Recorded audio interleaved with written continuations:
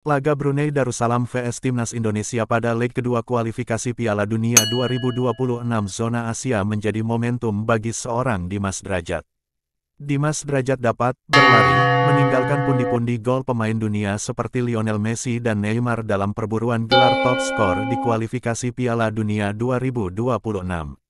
Dimas Derajat saat ini memimpin daftar pencetak gol terbanyak di kualifikasi Piala Dunia 2026. Pemain Persikabo 1973 itu sudah mencetak 3 gol, unggul atas Neymar dan Rodrigo yang sudah mencetak 2 gol, serta Lionel Messi 1 gol. Tiga gol yang dicatatkan oleh Dimas Derajat dicetak dalam satu pertandingan, yakni saat timnas Indonesia menggulung Brunei Darussalam 6-0 di leg pertama, Kamis tanggal 12 Oktober kemarin.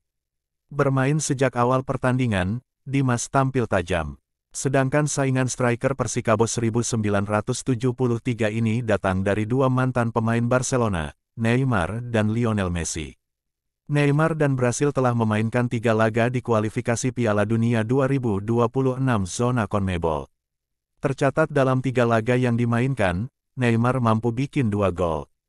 Raihan yang sama juga diukir bintang Brasil lain, Rodrigo. Lionel Messi juga telah membuka keran gol bersama Argentina di kualifikasi Piala Dunia 2026.